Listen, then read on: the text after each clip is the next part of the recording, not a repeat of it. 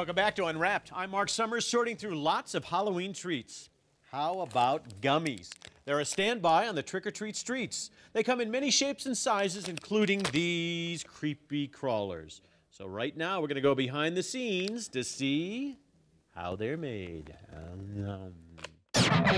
Gummy glowworms are one of Ferrara Pan Candy's top-selling treats.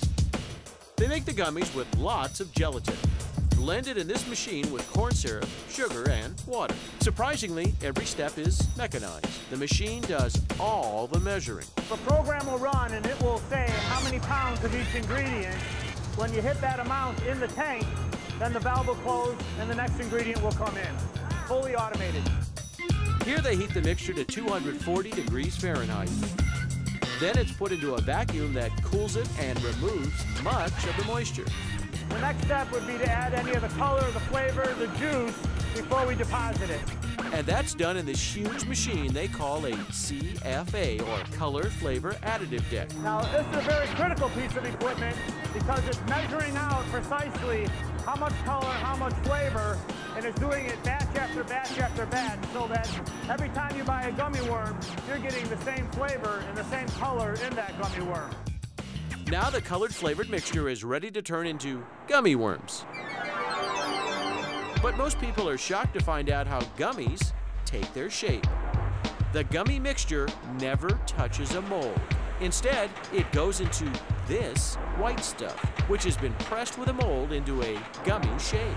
It's a cornstarch with a small percent of mineral oil.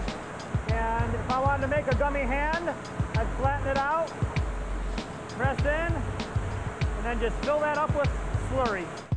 Cool. The cornstarch is actually a better mold than a metal pan. Plus, it's easier to get the gummies out once they're dry. And we use a piston pump and a nozzle that lines up directly with the mold and injects the liquid candy into the starch. They can fill 28 of these boards a minute, which is a total of 6,720 worms every 60 seconds, or 403,000 an hour, and over 9.5 million a day, just in case you're counting.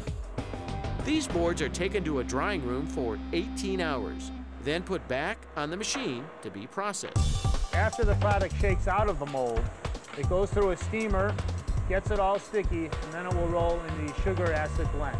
The sugar acid gives these Black Forest gummies their famous sweet and sour taste, especially popular with the under 12 set. After the product goes through the steamer, it's going to roll in this drum where it's going to get covered with the sugar acid blend that gives us the glowworm and sourness. From here, we'll convey it up, we'll catch it in boards, and send it off to the packaging room. And then all that's left to do is to put them in a package and let kids do the rest. 93% of American children go trick-or-treating, and half of them say they want chocolate. So bring on the M&Ms. Take a look at how these classic candies are made by the millions. It's one of the food world's most well-known slogans. Melts in your mouth, not in your hand. And it goes along with one of the world's most craved candies. M&Ms are definitely a part of American culture, and currently they're in everything from the Academy Awards to New Year's Eve celebrations to NASCAR, pretty much every big special event you can think of, you'll find M&Ms. So aside from the snappy slogan, how did these tiny treats become such a big hit? Well, the story actually starts when candy maker Forrest Mars visited wartime Spain in the late 1930s. He saw soldiers eating chocolate pellets covered with sugar and it didn't melt. And he was inspired by that idea. By 1941, Mars was churning out his own version of candy-coated chocolate stateside. And he did initially have a partner, which is where the name comes from. The M stands for Forrest Mars Sr. and Bernie Murrie, his partner. Today, M&M Mars is making around 1 billion M&Ms every day. To put it in further perspective, if we put all the M&Ms end to end that we make in the course of the year, it would encircle the Earth 48 times. And at their facility in Hackettstown, New Jersey, the 12-hour M&M making process starts with the chocolate. A mix made from milk, sugar, and cocoa first rolls through refiners, turning the semi-liquid paste into powder. Then powder conveys its way down to the conche room, where giant containers filled with metal beads grind up the powder with cocoa butter and chocolate liquor. The end result? A smooth semi-solid chocolate ready for depositing into tiny bean-shaped sheets. We call it a lentil shape. And we think the lentil shape is the best shape to ensure that the sugar cell is put on in a consistent and even fashion. Now, the step of putting on the first coat of candy is top secret. But once the chocolate centers have their first sweet coat on, it's time for them to take a tumble. Here, extra layers of color are shellacked onto the shells. Next, candies get christened with their own little letters. And then all the different colors blend together before being bagged. But this is not a random assortment of sweet colors. A bag of M&Ms contains exactly 25% orange, 25% blue, and 12.5% of brown, red, yellow, and green candies. And different colors do come and go as tastes change over the years. We actually have specialists who are trained in color and they keep uh, very close to all the color trends and make sure that all our colors stay very current and very contemporary. Licorice, it's been a favorite snack since early history. In fact, huge amounts were even found in King Tut's tomb. Traditionally, licorice meant the use of the licorice root, but today somehow the term has come to encompass what we know as both black and red licorice. And even though the red kind is actually strawberry flavored, we still love it as a licorice treat. Let's just say it's licorice with a twist. Here in the peaceful Pennsylvania countryside, all appears quiet and calm. But there's something very twisted going on. Tons of twirling candy is made at the Twizzler factory, located, of course, on a turn in the road near Lancaster, Pennsylvania. This delicious licorice has been around since the 1920s, and throughout history's twists and turns, the Twizzler keeps rolling along. So, what makes this candy special? Well, I really do believe that the twist in the Twizzler does make the Twizzler. Wow, that's a tongue twister. But how do they get that twist into the Twizzler? The candy starts as a basic blend of cornstarch, corn syrup, flour, sugar, and flavorings. This mix is then pushed through these patented nozzles. The way they work is so secret, we'll have to keep our tongues truly tied. But here's the general idea. It twists and twists and twists until the Twizzler comes out just so twisty. Twizzlers are always popular with moviegoers. They don't melt, stick, or spill. And with an average of 20 Twizzlers per package, they're easily shared. So are Twizzlers the main attraction at the concession stand? Twizzlers are second to popcorn. The number one candy sold at the movies. With Twizzlers in such high demand, the factory turns out almost 200 tons a day. If you relay our Twizzlers end to end, you can go from the East Coast to the West and start back again. That's a lot of candy. Now, here's a little known Twizzler tidbit. Each licorice stick contains about two and a half curves per inch.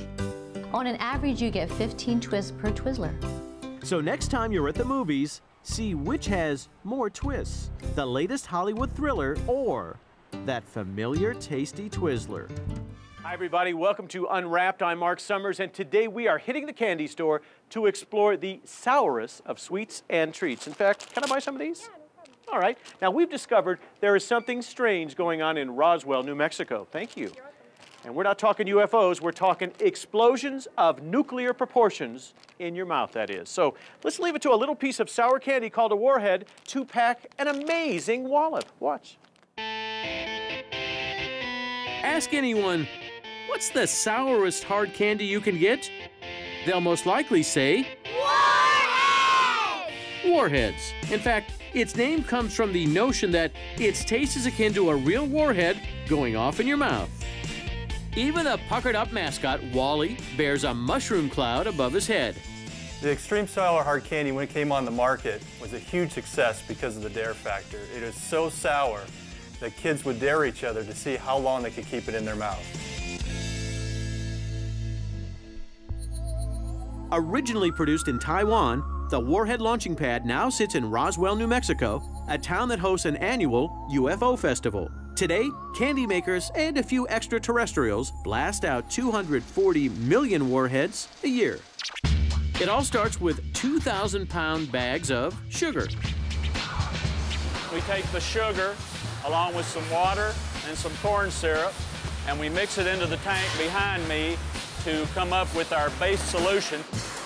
The solution travels through a cooker and into a surge tank reaching temperatures of 280 degrees Fahrenheit.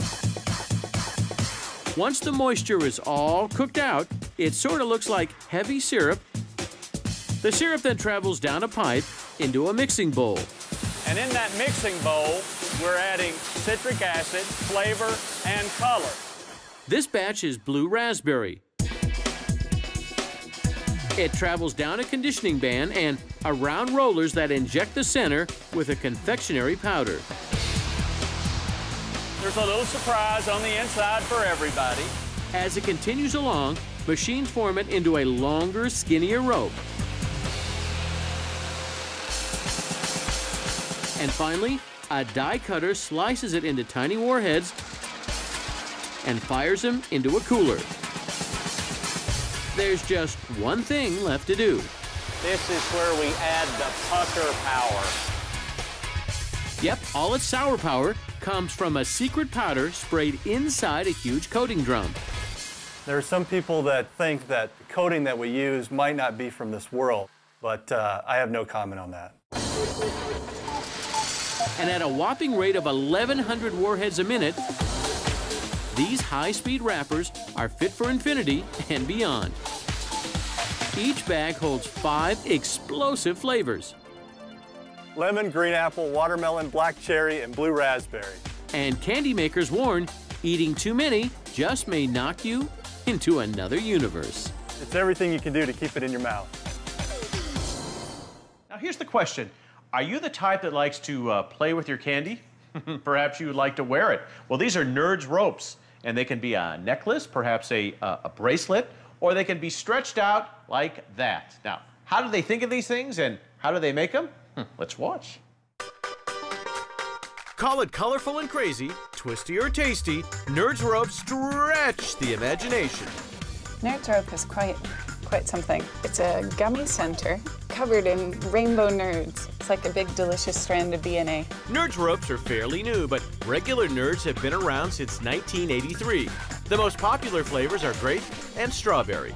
And if you like them tart, they also make sour nerds in flavors like lightning lemon and amped apple. Usually one box of nerds has two flavors, but the nerds rope is like a cluster of five colors and flavors. Grape, orange, lemon, watermelon, and strawberry. It's it's quite an experience. Willy Wonka invited us into his private factory in Itasca, Illinois, where Nerds ropes roll off the conveyor in not feet, but miles. If we were to line up all of our Nerds ropes that we make in one day, end to end, we'd have over 60 miles of Nerds rope. Believe it or not, it's thought this sugary strand came about by accident. The word around the factory is that one day there were a load of nerds laying around, and somebody was experimenting with some gummies. That mystery inventor apparently dribbled some of the gummy mixture over a pile of nerds, and then he went to lunch. And then when they came back, they discovered this amazing thing. And then they set about how to how to create this so that lots of people could enjoy it. And they were very successful. Before you can have a Nerds rope, you have to have Nerds. Nerds are just this iconic, amazing candy that have tons of character. I mean, I think when you see them being made, it just it just blows your mind. More than 150 million of these tiny, crunchy candies coat the ropes each day. Basically, we start off with a sugar crystal, and we just keep coating it with, uh, with more sugar, liquid corn syrup. The sugar spins in pans like this and slowly grows into lots of uniquely shaped nerds. We keep adding sugar on in different layers uh, until we get the full nerd. Check out these naked nerds. This is what they look like before they add color. From the time that we start to the time that we're done, it's about six hours. Meantime, the gummy center cooks with gelatin, sugar, and a special ingredient, citric acid, for fruity flavor. We're gonna take this, we'll cook that mixture Um, and that gives us this gummy. This gummy then is formed into the ropes. From there, we run it through a shower of a gajillion nerds. This is not a shower of nerds. It's more like a storm. Countless little candies cover the long, sticky red ropes.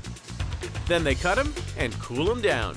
And within a few minutes, a conveyor leads the finished ropes to a container called a U-board. And that U-board allows us to, to be able to wrap it, uh, so it'll maintain its shape uh, as we send it out. Each rainbow-colored creation slides into a shiny foil wrapper. As for what happens next, well, that's up to whoever opens it. Nerd Rope is just one of those super, super creative candies. I mean, it's just like pure imagination. I would say it's a one of a kind, absolutely.